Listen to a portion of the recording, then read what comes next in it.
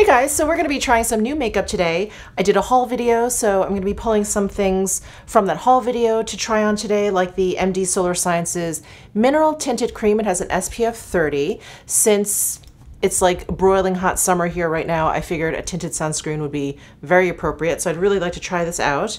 Um, I also hauled the Nudestix and Allana Davison uh, collab, and so I wanted to try the Nudies matte stick in Picante. I think you can use this. I'm hoping you can use this on your lips. I'm sure you can. Um, it's actually a blush color, but I have some other blush. Anyway, I'm gonna figure out how to play with this um, because I was sent from a very, very dear subscriber here. She sent me two of the Givenchy Prisme Libre blushes, and I can't get my hands on these because I don't think they're for sale in the US. But she sent me two shades, number two and three. One is like a pink and one is like a peach. I'm hoping that by the time I put up this video, it's available somewhere. I can find it for you guys somewhere. Anyway, I will leave a link down below in the description box if I am able to locate this. But I did do like a quick search when I started to see um, influencers talking about this, but they were all like I think in Canada and Europe, and I haven't been able to find them. Anyway, moving on. Um, I did also haul uh, some other Nudestix things like mascara, whatever, but they did also send me their Brow Boost and Set Gel Extra Large, XL. So I want to try this for my brows. Um, Laura Mercier sent me their latest highlighting powder in Rose Glow, and this is part of their I think it's their Rosy Glow collection or Rose Glow collection, and they have some caviar sticks as well, uh, which they sent me. But I really wanted to try this highlighter powder today, and I am so excited to show you guys this eyeshadow quint. This is the latest from Dior. This is their Cruise 2022. Yes, we're talking about Cruise 2022 already. This is their quint for that collection and I did some Instagram posts for this and I just am so excited about this quint. It's so beautiful. It's so just me. I love their quints. I love the formulas that they've come out with since like redoing their whole quint line. And this color story, I mean, yes, yes. I just, I love it so much. So we've got lots of fun stuff to play with. Let's go ahead and get started with the MD Solar Sciences Mineral Tinted Cream, SPF 30. And this has um, physical sunscreen in there. So there's some titanium dioxide and some zinc oxide. I'm just gonna shake it up comes in this tube. All right, gonna squeeze some out onto the back of my hand. Woo, squeeze a little too hard. There is the texture, it looks very nice and creamy. Is it even running down my hand? It's not even really running down my hand. All right, so I've got my Rephr foundation brush here and work that in. No fragrance whatsoever, which is really great for a sunscreen. Like no fragrance at all, no scent at all.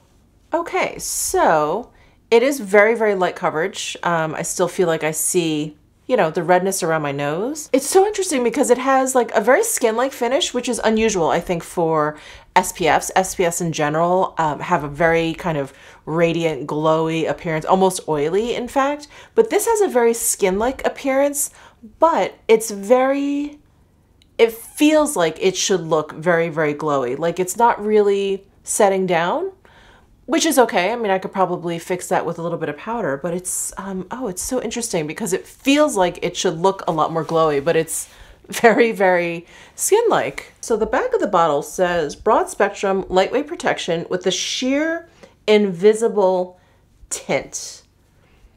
Okay, that's a very interesting description because a tint to me says there's going to be a tint, but it's a sheer invisible tint and a matte finish yeah, it definitely it's not it's not glowy. I think that's so interesting. Um, use as a makeup primer or on its own, enriched with antioxidants and vitamin C. There it is all over my face. There's really not a lot of coverage. I don't think that it's saying it's gonna have a lot of coverage, so it's not really a surprise.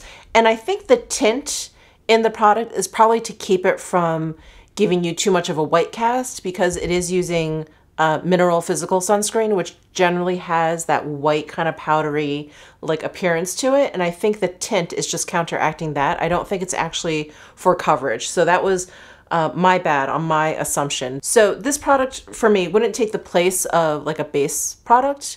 Um, if I wanted it, it just is a nice sort of mineral sunscreen option That's really nice. Well, this is like kind of perfect for the mood that I'm in. If you guys watched my video yesterday, it really has just been too hot to just kind of pile on, eh, for me at least. If you are into it, by all means, more power to you. But for me personally, I just, I can't, I can't like put all that stuff on my face when it's so hot outside. So this is kind of perfect for me. So what was the SPF again? It is 30. Okay, so not bad. Not bad. All right, well, there is my base. I think I'm gonna go in with a little bit of concealer. So I'm gonna use my uh, favorite Dior Skin Correct Concealer in shade 2N, and this will actually be a good test to see how this concealer sits on top of uh, this SPF. I'm gonna use my Trish McEvoy Deluxe Blending Brush.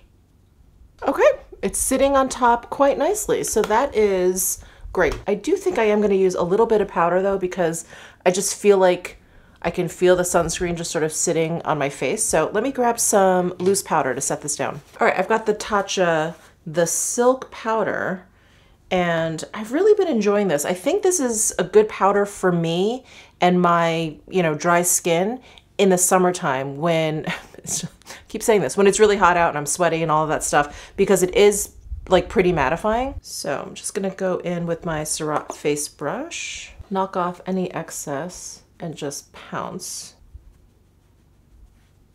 Okay, yeah, I feel like the powder did the trick. So in terms of bronzers, I wanted to try the Makeup by Mario uh, Soft Sculpt Shaping Stick. So I haven't tried the stick yet for you guys. Um, I just was sent this in PR, which was such a nice surprise. Um, but I did try the powder bronzer, which I really enjoyed. So I thought I would give this one a shot. So I'm using light medium, which is the shade that I used in the powder bronzer, and that worked out really well. So I thought this would be a good match. So I just put powder down, so I'm a little afraid of just swiping. So I'm gonna grab my Smashbox cream cheek brush and I'm gonna swipe it over the sculpting stick. And just going to tap that, wow, that's that's an intense contour right there. Um, I'm going to tap this where I want to uh, contour and let me get the excess off here. And I'm just going to kind of pounce and swipe. I don't really want to swipe too hard again because I put powder down. I really don't want to disturb any of the product underneath. So I'm just going to press like this to kind of blend out. Wow, that blended out beautifully. And I like the tone of this too. It's uh, much like the powder bronzer of uh, Makeup by Mario's. It just is a very neutral tone. It's not too cool, it's not too warm. I just think it's gonna work beautifully if you wanna contour or if you wanna bronze with it. Add this to this side. And the texture of this um, stick is great. It's really blending out really easily. Now I'm gonna take a close look and see if any of my makeup moved or did anything funky. No, I think actually it looks pretty good. All right, my hair, on the other hand, does not look that great. Anyway, moving on. I'm really, really excited to try these Givenchy Prisme Libre blushes. So let me um, unpack these two. So these are smaller. These are smaller than the powders. So here is a loose powder and here is a blush. So it's almost, it almost looks like a deluxe travel size of the powder, maybe a little bit bigger than that, but it's, it's smaller than the regular powders. Okay, so this is the number three, the Voile Corail. So those are two out of the four chambers, and then these are the other two. We have number two, which is more of a rose. So those are two, and then these are the other two. I think, especially if I want to play around with um, the Nudestix Picante, I think I should go for the coral one. And it has this mirror top, which I don't want to blind you with, but the top is mirrored, which is really cool. So this literally is like the powder, exactly like the powder, is just smaller. There's a little poof, which I think would be a little awkward to apply blush that way, but you never know. Okay, here is, wow, here's a really, really heavy swatch of this coral blush. I just had to pour some out. I couldn't get any in any sort of graceful way. All right, I've got my Surratt cheek brush. I'm actually going to pick up what I have on the back of my hand. It's such a heavy swatch. And apply some. It's so bright. Wow, you really don't need a lot. I understand now why it comes in such a small container, but I wish you didn't have to like dump it out because I feel like I'm to waste quite a bit every single time I do that. But I can't think of a better way to get the product like out. Okay, the color is incredible. That is beautiful. The finish of this, it's a little bit more matte than I would like. I wish there was a little bit more of a satin sheen to it. So I don't know, maybe next time. maybe next time they'll make it a little bit more satin. The elusive Prisme Libre Blush from Givenchy. Uh, well, a huge thank you to my subscriber that sent this over to me. Just wow, it was such a lovely surprise to get the box. Next up, we have the Laura Mercier Rose Glow highlighter. This packaging is really beautiful. And here is the highlighter. Ooh, very pretty. It's like champagne with just a hint of like a rosiness to it, which is nice. I was worried it was going to be a little bit too cool toned, especially next to this coral blush, but it actually looks great. And upon first glance, this looks like a typical kind of pressed powder formula, but it reminds me of her blushes, the Color Infusion blush, which is it's just such an interesting formula because it feels so hard, but it's not it's actually not pressed hard. I think it's just I don't know, I think it's just a very unique formula because you can pick up products really easily, but it just feels really hard in the pan. And there's a similarity to this highlighter. This one is maybe a little bit softer, but yeah, there's a similarity there. Anyway, let me go ahead and grab a highlighter brush. I'm actually gonna grab the Surratt highlighter brush and just add a little bit here. Ooh, really pretty. Very pretty, very smooth, very nice. Hope you guys can get a good sense of the shade there. It really is coming off just like a like a nice like champagne highlight on my skin. The rosiness that I see in the swatch isn't really translating too much now that I have it on my face. All right, let's move on to the Nudestix Brow Boost and Set Gel XL. So I think this is just clear. Yeah, this is just clear. So let me get out a brow pencil. I actually have my Gucci brow pencil here, which is one of my favorite pencils. It's a powder pencil. It just looks so great in the brows. I have it in the shade 4 Brun, I believe. All right, so the Gucci brow pencil is down. Let's go in with the Nudestix gel. So it comes in what looks like a tube, but then there's like a great spoolie size. I like when they're short like this, but not too narrow. Like I like that there's actual bristles on there. I smell, I smell like alcohol on here. I wonder if that's gonna fade. Oh, nice. My brows are still like malleable almost like a pomade. Like it's definitely making my brow hairs behave, which they don't like to do. So they're definitely behaved, but it's not, they're not stiff. Oh, lovely. Lovely. Okay. Thank you, Nudestix. Let's move on. Oh my God. The Dior uh, Quint for Cruise 2022. Is there an actual name for this? Yeah, Cruise Look. And it's number 022.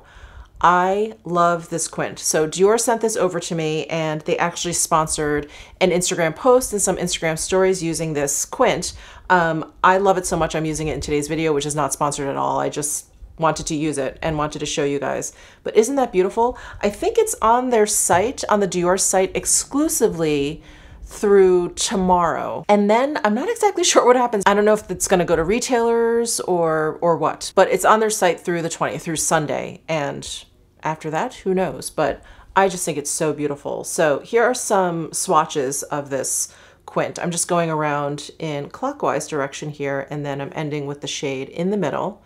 Isn't this just beautiful? I mean, you guys can see why I love I love this neutral, versatile palette, but it's it's so gorgeous. All the shades in here have a beautiful satin finish to it, and they're just stunning on the lids. Okay, I'm gonna start with this shade up here, and if you did see my Instagram post, I actually have this shade, uh, this more golden one, like all over my lid, but I wanna try this one, which has just a little bit of a peachy, pinky hint to it, and put this all over my lid. And I'm using my Sonia G Worker One brush. Oh, this color is gorgeous. It's gorgeous. Oh, it's so beautiful. So this quint was, so this quint was inspired, the colors in this quint um, was inspired by the Cruise 2022 collection.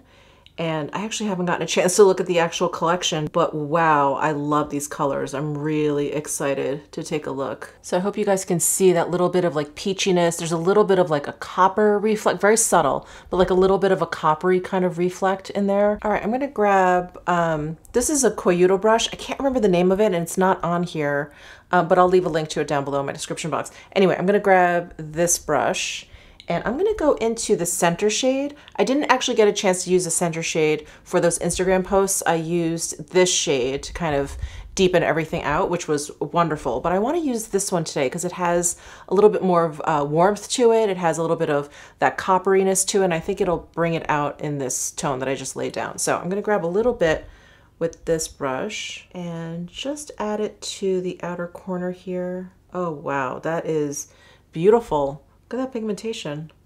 This brush is so great, I think, for blending two shades together. It acts as like one of those charcoal stumps. I just use like these short back and forth strokes and I really feel like I'm getting like the two colors together.